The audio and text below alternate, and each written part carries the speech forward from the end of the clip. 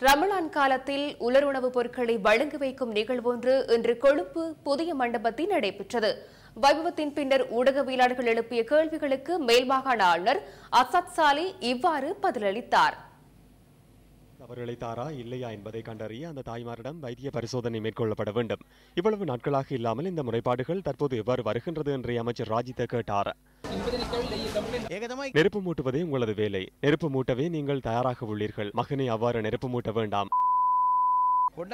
சற்று கவனமாக சென்றால் சிறந்தது. அதுவே நான் உங்களுக்கு கூற முடியுமான ஆலோசனை.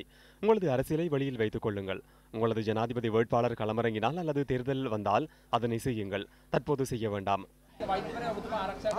ඉති ඒක ආයිතුවක් උුණුවර්පණය කතා කරන්නේ நீங்கள் மீண்டும் கெட்ட வார்த்தை பேசுகின்றீர்கள் நான் ஏன் எவரையாவது பாதுகாக்க வேண்டும் ராஜித சேனாரத்னவிடமும் நீங்கள் இதனையே கேட்டீர்கள் விசாரணை நிறைவடைய வேண்டும் என்றே அவர் கூறினார் சற்று பொறுமையாக இருங்கள் கருத்தடை மாத்திரை கதையை போன்றே இதுவும் ஆகப் போகின்றது அவசரப்படாமல் அமைதியாக இருங்கள் අතිසි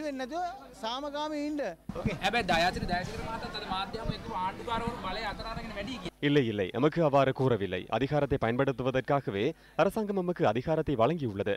அதிகாரத்தை தாண்டி சென்றிருந்தால் நடவடிக்கை எடுங்கள்.